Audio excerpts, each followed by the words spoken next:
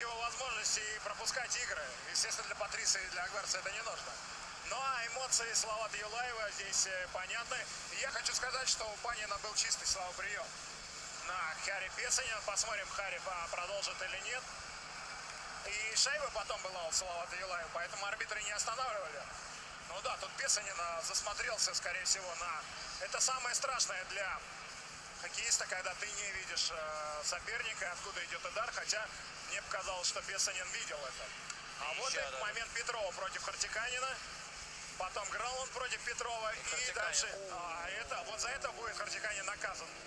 Наказан постфактумом или сейчас мы это посмотрим. Но сто процентов это так нельзя делать.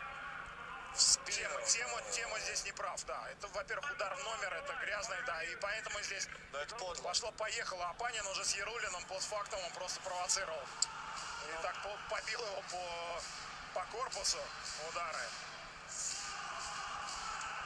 Ну да, ты знаешь, вот одно дело встреча Панина и Песанина,